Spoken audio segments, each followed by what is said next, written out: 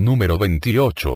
La número 28 de la lista es La Espada en la Piedra, una película de Disney del año 1963, dirigida por Wolfgang Reitermann. La película trata la historia de cómo Merlín, el mago, encuentra a un niño llamado Arturo, en el que Merlín tiene sospechas de que él hará algo importante en el futuro, por lo que invita al niño y lo hace estudiar para que logre esa meta. Pronto se descubre que Arturo será el próximo rey de Inglaterra, y para hacerlo, solo tiene que sacar la espada en la piedra. Basada en la famosa leyenda del rey Arturo y Merlín el mago, esta película entretenida y divertida para niños es muy recomendable, sobre todo porque insta a los niños a estudiar. A los adultos, solo será para recordar viejos tiempos, pero esta película, a mí me encantaba de niño, y por eso ocupa este puesto. Nominada al Oscar a la mejor banda sonora adaptada. Número 27. La número 27 de la lista es Pinocho, una película de Disney del año 1940, dirigida por Hamilton Luske y Ben Sharpstead. La película está basada en el libro Pinocho, de Carlo Collodi, y cuenta la historia de Gepetto, un viejo que crea una marioneta de madera. Gepetto, al no tener familia ni compañía, más que un pez, y un gato, Gepetto desea a la estrella azul, que convierta a Pinocho, que es como lo nombra, en un niño de verdad. El deseo se cumple mientras Gepetto duerme, por lo que el hada azul le da vida a Pinocho, y luego esta le asigna como guía y conciencia, a Pepito Grillo, y el hada le dice que si se porta bien, y obedece a su conciencia y a su padre Gepetto, lo convertirá en un niño de verdad. Después del milagro, Gepetto envía a Pinocho a la escuela, pero este desobedece a Pepito Grillo, y se mete en problemas por la calle, por lo cual Pepito Grillo, debe convencerle y enseñarle sobre los problemas de la calle. Pinocho es una película simpática y entretenida, que deja obviamente un mensaje muy notable, para que los niños aprendan. Si no obedecen a sus padres, se arrepentirán después, aunque también depende de lo que digan. Obedece tu conciencia. Pepito Grillo es una metáfora de la conciencia que todos tenemos. Si no estudian, se convertirán en burros, bueno no en animales, eso es para meter miedo.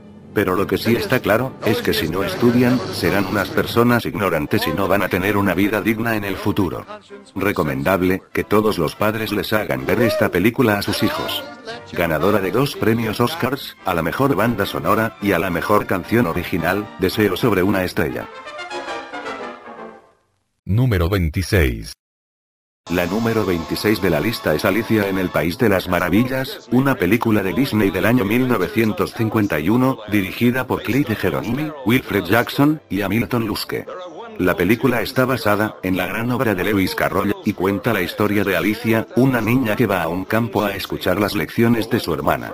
Alicia se aburre y comenta que en su mundo, todo sería un disparate. De repente, Alicia ve a un conejo blanco con ropa que va con mucha prisa, ella, curiosa por el conejo, lo sigue hasta un agujero, donde cae y descubre un mundo lleno de maravillas, pero también cosas absurdas e inimaginables, incluso cosas contrarias a la realidad, como los absurdos juicios de la reina de corazones. Esta película es muy divertida, interesante, maravillosa, extraña y sobre todo, entretenida de principio a fin. Una película que no debes dejar de ver, aunque recomendada solo para niños, pues a mí de niño me encantaba. Número 25. Bueno, ya llegamos a la mitad del conteo, así que las primeras 25 son en verdad, muy especiales para mí, así que la número 25 de la lista es, El Expreso Polar, una película del año 2004, dirigida por Robert Zemeckis. La película está basada en el libro de Chris Van Allsburg, y cuenta la historia de un niño de 8 años, que pierde su fe hacia Santa Claus, pero en una noche, aparece un extraño y enorme tren mágico, que no necesita rieles para andar, al que llaman el Expreso Polar. El niño, curioso, se acerca al tren, donde sale un conductor que le invita a subir, para ir al Polo Norte. El niño, curioso, acepta, pero antes de entrar, el conductor le da un boleto, que con un abre huecos de papel, escribe en su boleto, cree. Ya en el tren, el niño conoce a un grupo de niños selectos, que también han perdido su fe a Santa, y se dirigen al Polo Norte, para que uno de ellos, sea seleccionado por el mismo Santa, para recibir el primer regalo de Navidad del año.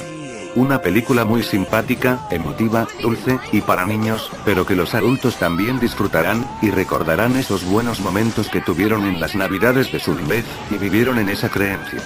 Como dije, una película muy simpática que no puedes dejar de ver. La película fue nominada a tres premios Oscars, entre ellos Mejor Canción.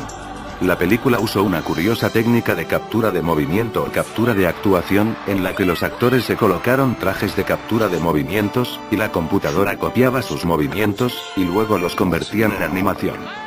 La película contó con la voz del aclamado actor, Tom Hanks, que le dio la voz a varios personajes, entre ellos, y el más notable, es el conductor, también la de Santa Claus, y hasta el mismo niño protagonista. Número 24. La número 24 de la lista es El Príncipe de Egipto, una película del año 1998, dirigida por Brenda Chapman, Steve Kner y Simone Weiss.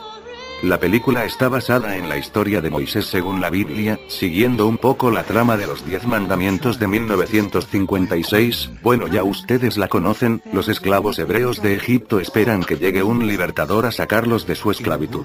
El faraón teme el nacimiento de ese libertador, por lo que manda a matar a todos los varones hebreos recién nacidos. Sin embargo, una mujer hebrea coloca a su hijo en el río Nilo, esperando que Dios le encuentre un hogar. Una princesa egipcia lo rescata del río y lo cría como su hijo. Cuando Moisés crece, descubre que es hijo de hebreos, y mata a un egipcio por proteger a un hebreo. Moisés huye de Egipto y hace una nueva vida, pero luego el mismo Dios lo llama para que saque a los hebreos de Egipto, con la ayuda de su poder. Una película muy entretenida, emotiva y divertida, recomendada para religiosos, pero también para los amantes del buen cine de animación. Además, la película gana puntos, por el aspecto de los egipcios y los hebreos, ya que están bien reflejados, ya que en otras películas siempre ponen a los antiguos egipcios como blancos, en esta no, aquí los egipcios y los hebreos son morenos, como debe ser.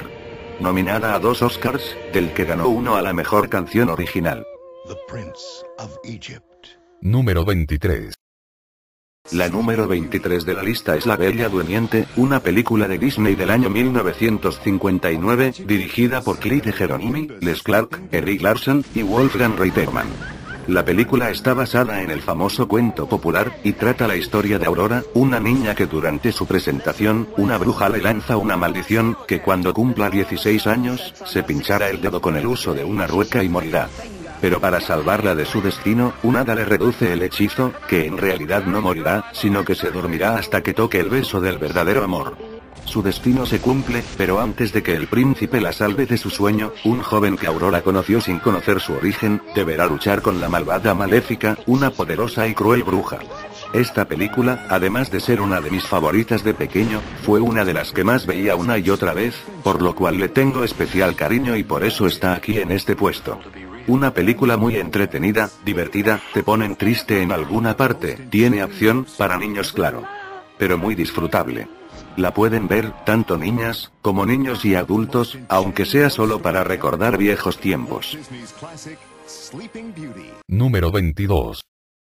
La número 22 de la lista es La Sirenita, una película de Disney del año 1989, dirigida por Ron Clements y John Musker. La película cuenta la historia de Ariel, una joven sirena con espíritu aventurero y curioso, que sueña con vivir fuera del mar, pues ella cree que es algo fascinante. Ella tiene una colección de cosas hechas por humanos y se muere por saber más de ellos. Su padre, el rey Tritón, descubre las cosas que tiene de humanos, y también descubre que ella está enamorada de un humano, por lo que él destruye las cosas que colecciona. Ariel, destrozada, es manipulada por la bruja del mar, por lo que ésta le dice a Ariel que la en humana, pero a cambio de su voz. Ariel acepta, y es convertida en humana, pero sin voz, y deberá besar al príncipe humano antes de tres días, para quedarse como humana, si no, la bruja la convertirá en su esclava, el problema es que la bruja la usa como cebo, para atraer a su padre, el rey Tritón, y robarle su poderoso tridente.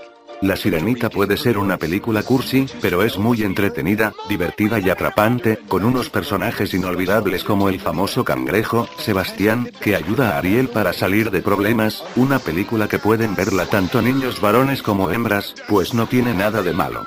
Una película que me hizo pasar buenos momentos y por eso está en este puesto. Nominada a tres premios Oscars, de los cuales ganó dos, entre ellos Mejor Banda Sonora, y Mejor Canción, Bajo del Mar.